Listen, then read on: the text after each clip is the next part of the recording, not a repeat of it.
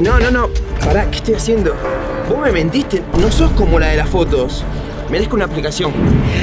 Mi Javi, ¿cómo te extraño? ¡Basta, amiga! ¿Cuánto más vas a seguir con esto? Tenés que superarlo. Bueno, pero lo extraño. ¿Qué quieres que haga? Mira, te voy a hacer un perfil en una app de citas, ¿sí? Vos ponete ahí, reina hermosa, que yo te voy a sacar unas fotitos para el perfil. Ay, dale.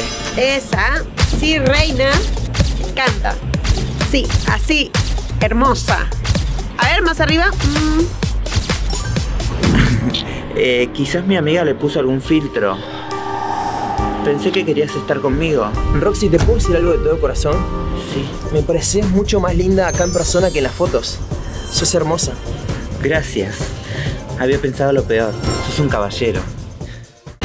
¿Vos sos Wendy Guevara, la de la casa de los famosos? ¿Eh? No te quería molestar, pero por favor me podés regalar una fotito. Mira, tengo plata. Eh, Wendy cobra más.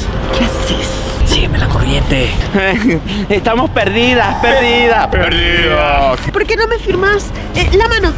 Bueno, si quieres seguir hablando con Wendy, es más dinero. Bueno, toma, tengo. Dame, dame eso. Viste, podemos hacernos millonarios. Pero yo no soy Wendy Guevara. ¿Qué importa? Wendy, Wendy, mira, me tatué tu firma. Y además empeñé cosas porque, bueno, te quería dar más dinero porque quiero hablar con vos. Ay, Dios mío, esto llegó muy lejos. Sí, paga, por favor. ¡Basta! ¡No! Yo no soy Wendy Guevara. Yo soy Roxy. ¿Qué?